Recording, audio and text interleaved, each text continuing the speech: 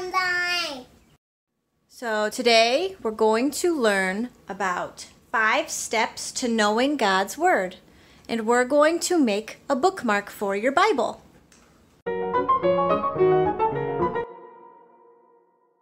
First thing we're going to do is trace our hand. Oh no. This is the one that I messed my hand. Huh. Okay, perfect. Uh, Our next step is to cut the hand out.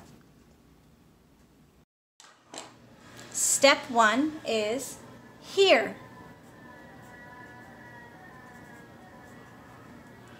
Step two is read.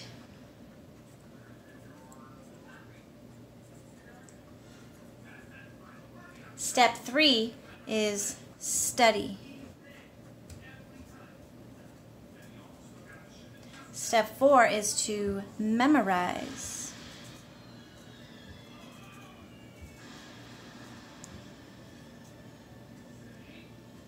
And step five is meditate.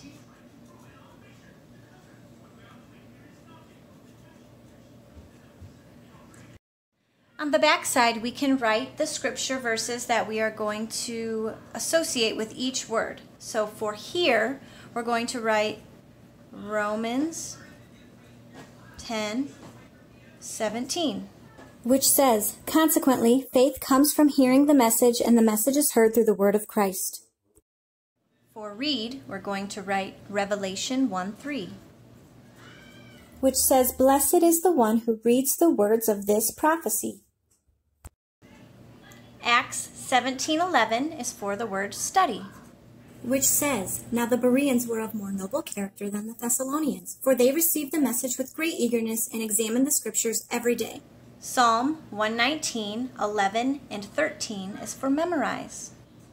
And it says, I have hidden your word in my heart, that I might not sin against you. With my lips I recount all the laws that come from your mouth. And Psalm 119 15 is for meditate. Which states, I meditate on your precepts and consider your ways. So we're going to use our hand in our Bibles as a bookmark. And every time we see it, we can remember that we need to hear, read, study, memorize, and meditate on God's Word to know Him better.